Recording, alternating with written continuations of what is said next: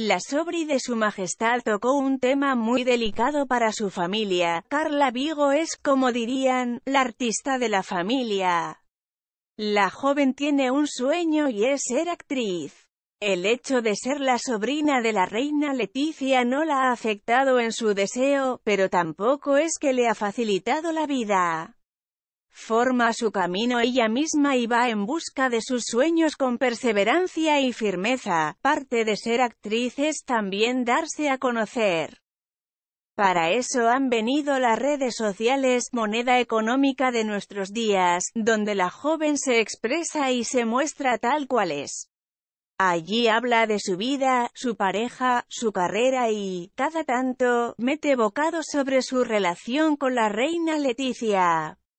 La reina Leticia y Carla Vigo tienen una relación muy estrecha, pues la influencer perdió a su madre Erika Ortiz cuando tenía seis años. La hermana de su majestad decidió por voluntad propia partir de este mundo, dejando un vacío imposible de llenar. Esta parte de la historia la sabemos de memoria, pues siempre Leticia Ortiz la recuerda con cariño.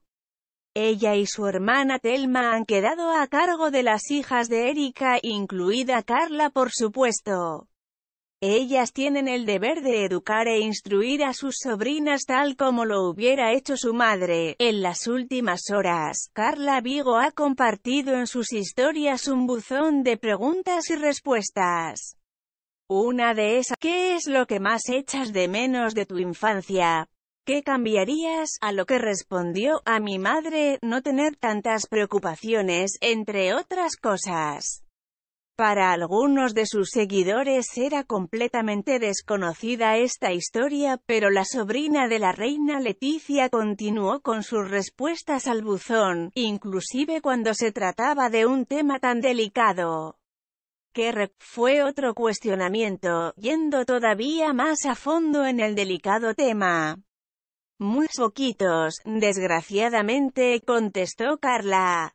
Finalmente llegó la pregunta de un despistado follower, ¿qué le pasa a tu mamá? Se murió cuando yo tenía seis años. Como última cuestión relacionada a este asunto, un seguidor le preguntó cómo se sigue adelante luego de esa situación. La sobrina de la reina Leticia respondió pues espera.